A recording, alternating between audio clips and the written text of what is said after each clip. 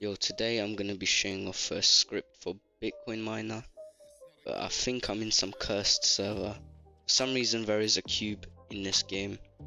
I'm not sure why the cube is here. So it's anti-AFK, walk speed. For some reason the game gives you this trail. I guess it's normal to walk this fast. There's redeem codes. I'm not sure if my money went up. Maybe it did. Spoof game passes. Oh, it does actually work, and I even get a bonus for being a VIP. This is a free VIP game pass. It's really good. It's just auto exchange. This will just constantly sell it for you. You can choose the exchange rate as well. So, not really sure what this means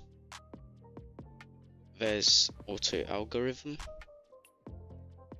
I guess if you play this game you understand what all of these things are.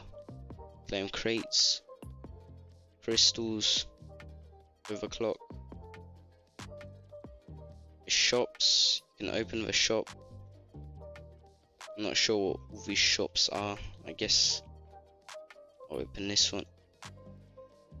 I don't have money for this one. So, yeah, the script is really just good. You can teleport to your home. You can teleport to every shop.